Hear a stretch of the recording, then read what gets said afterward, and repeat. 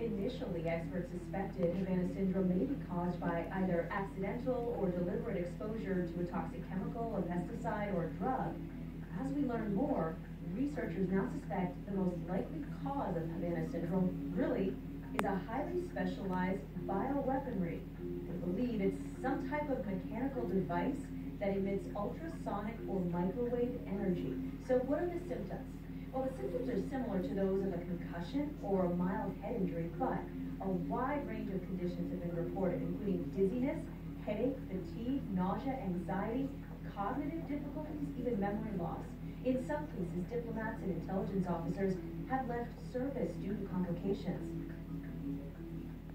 U.S. officials have said they don't know the reason for the mysterious neurological symptoms. In public, they avoid using the word attack in favor of anomalous health incidents.